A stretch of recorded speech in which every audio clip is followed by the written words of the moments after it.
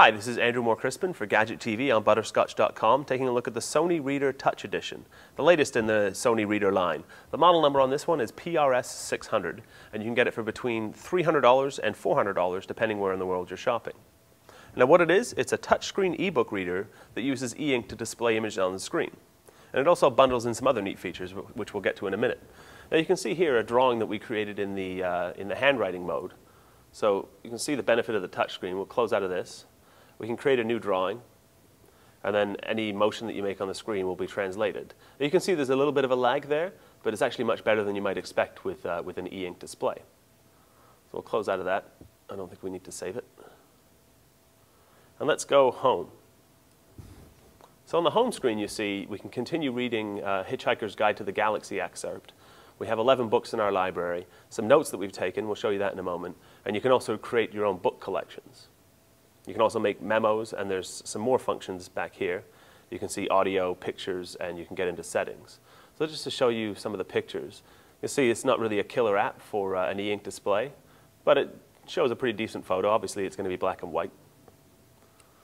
Exit back to home. So let's continue reading a Hitchhiker's Guide to the, the Hitchhiker's Guide to the Galaxy. Now you can see here, um, and uh, this is another benefit of having a touchscreen. You can see that we've actually highlighted a couple of words on the page. You can also double tap a word with the stylus or with your finger to get a di uh, dictionary definition. It uses the Oxford American, uh, American English Dictionary. So if we click on hypnotized here, you see here we get a, a definition from, from the dictionary. It's pretty handy. Now we, have, we currently have this on a, a fairly large text size, just so you can see. Uh, but you can actually change the text size, and the, uh, the book will reflow. So now you can see here we've made some annotations. Um, and to make an annotation, you can actually draw on the screen, you can highlight words. Um, so for example, if you're, if you're reading um, The Hitchhiker's Guide to the Galaxy for a school project, you could uh, you know, get a, an important quote and uh, keep a note of that.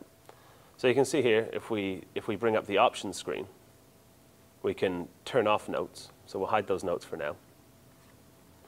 We'll go on to the next page.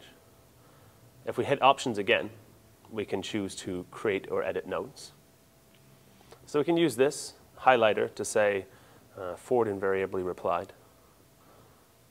And we'll also, we can write a little uh, note, just free-form handwriting, and say neat. We can also erase our notes if, uh, if we don't think that's neat anymore. And we'll exit out of that there. So now on the bottom of the device, we have, a little hard to show here, we have a headphone jack, a USB connection for charging and syncing, also a power port for, uh, for faster charging. There's also a volume rocker here.